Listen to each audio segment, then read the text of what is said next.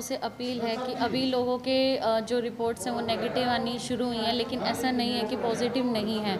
अब भी हमारे पास काफ़ी बंदे पॉजिटिव आ रहे हैं। इसलिए लोगों से है कि मास्क लगा के रखें, अपनी दूरी बनाए रखें और ज़्यादा से ज़्यादा घर से बहुत ज़्यादा ज़रूरी हो तो ही बाहर निकलें।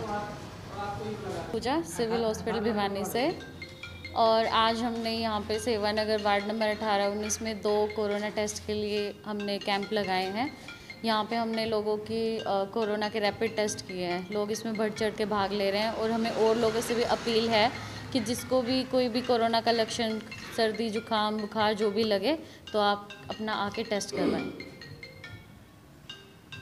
आज हमारा अठारह नंबर वार्ड के अंदर कोरोना टेस्टिंग के लिए सरकार की तरफ़ से और पूरा सहयोग है और हम पूरी पब्लिक को जागरूक करने के लिए हर घर घर के अंदर संदेश दिया है। कि आज समय ऐसा है कि अपने बचाव के अंदर ही बचाव है और घर के अंदर जो हमें सुविधा मिल रही है बाहर परेशान ना होगे लोग इसलिए हमने अब अठारह नंबर वार्ड के अंदर विकास धर्मशाला के अंदर कैंप लगवाया है जिन लोगों ने काफ़ी लोगों ने अच्छा भाग लिया है। आम लोगों से क्या अपील करना चाहेंगे? हम लोगों से ये अपील करना चाहते हैं कि आज की तारीख में मास्क लगा कर रखें अपने सेहत के लिए ज़रूरी ध्यान रखें और ज़्यादा ज़्यादा जो राज़ी खुशी है वो भी कोरोना चेक करवाए जिससे हमें बीमारी से बचाव रहे। और हम अपने वार्ड के अंदर सैनिटाइज भी छिड़का और हर जो भी सुविधा होती पब्लिक के लिए हम पूरी सेवा हाजिर रहते हैं जे की तरफ़ से मदन हाँ, आज मैं मास्टर अशोक कुमार जोगी पार्षद पति वार्ड नंबर 19 और जो शहर के अंदर पूरी जो है कोरोना की जो टेस्टिंग चल रही है उसके तहत हमारे वार्ड में आज डॉक्टर पूजा के नेतृत्व में टीम आई और लोगों ने बढ़ चढ़ कर भाग लिया है।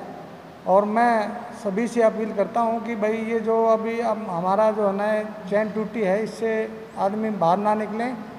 ज़रूरी काम हो तो ही घर से बाहर निकलें अदरवाइज़ घर में रहें।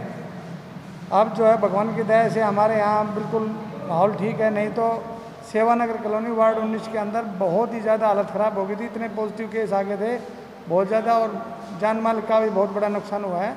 तो मैं लोगों से हाथ जोड़ के अपील करता हूँ कि कृपा घरों से बाहर ना निकलें, अपने घरों में रहें, ज़रूरी काम हो तो ही घर से बाहर निकलें। और बच्चों को, बड़े बूढ़ों को मैं नम्र निवेदन करता हूँ कि सभी बगैर मास्क के कोई बाहर ना निकले।